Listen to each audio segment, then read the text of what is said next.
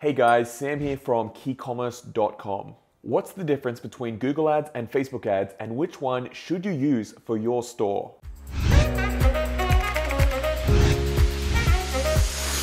Guys, it really depends on your store, your products, your niche, who your customers are, but hopefully this video will help you out a little bit. Google works really well if people are going to Google and searching for exactly what you sell. Facebook is great if you want to show off your product visually and you know exactly who would buy your product. Facebook is also great because it's very scalable and you can target people that aren't looking for you yet.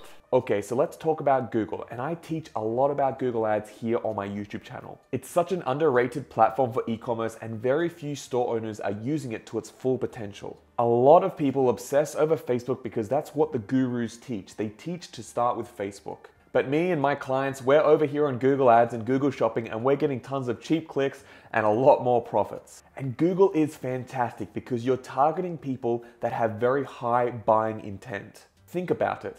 People go to Google when they're on a mission. They want something in particular. Maybe it's directions to get to the beach. Maybe they're looking for a type of restaurant, but also they have problems and they're looking for a specific product to solve that problem. It's kind of like Amazon. People go to Amazon, they often know what they have in mind and they go there and search for the product. It's very similar. If you have a Shopify store, it's like on Amazon, but you have so much more control over your brand. People go to Google and they search for buy computer mouses. You can then show a campaign and strategy that only shows your ad and your website if they search for this exact keyword buy computer mouse. You know exactly what they're looking for, a computer mouse, and you know what their intent is, buy. They're looking to buy this product online. So you just need to write a good ad that sends them to the right page that has the computer mouse there for them to buy. Super easy. And this is the good thing about Google is that you can limit your traffic to just people that are really searching for your products. Now let's talk about Facebook. Facebook is awesome because there are so many users on Facebook and you can get super granular with your targeting.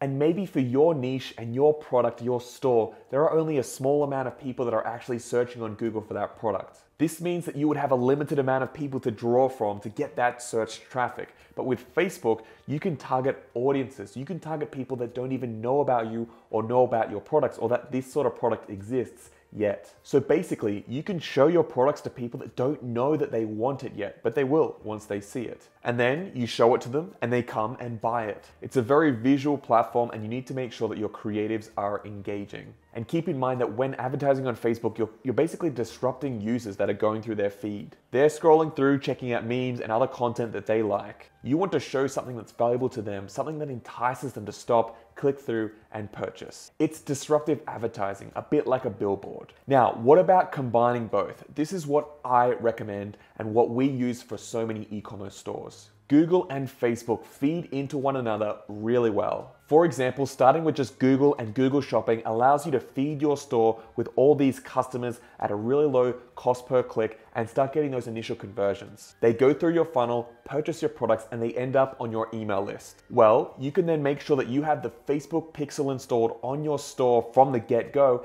and then retarget on Facebook. You can also build up your customer base with the Google high intent traffic and then turn to Facebook to run lookalike campaigns. This means that you're using that Google traffic, that search intent to get your ideal customer base through your funnel and get all that data. You then turn to Facebook and say, find people just like these ideal customers. It's an incredible strategy, and I've seen it work beautifully with so many stores.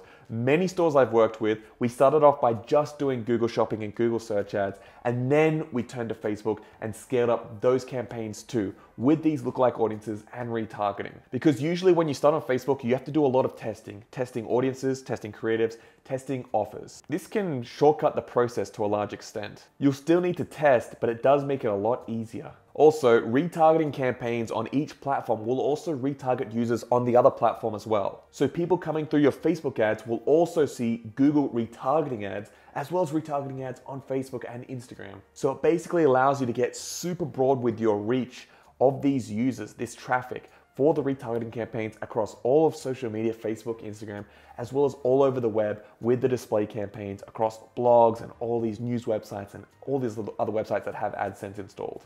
All right, guys, that's it for today. Just a quick video showing the difference between Google and Facebook ads. Like I said, I recommend using both for your e-commerce store. If this video was helpful, give it a thumbs up. Let me know how you're using Google Ads and Facebook ads to grow your e-commerce store. I'd love to hear about it. If you haven't seen my other videos, I go through a lot, especially on the Google Ads, Google Shopping side. Check out my playlists. They're very, very useful for you guys, fully free. They're all there. So much value for you guys. I made it to help you grow your store. Anyway, guys, thanks so much for watching, and I'll see you in the next video. Bye for now.